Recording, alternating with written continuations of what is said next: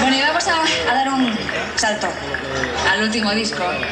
Y vamos a ir con una canción que cuenta una historia de, muy de todos los días, pero, pero muy encantadora a la vez. Y es esa historia de que chico conoce chica y chico y chica se enamoran y chico y chica se pelean un montón de veces y chico y chica no sé qué les pasa, que al final acaban juntos por la fuerza del destino.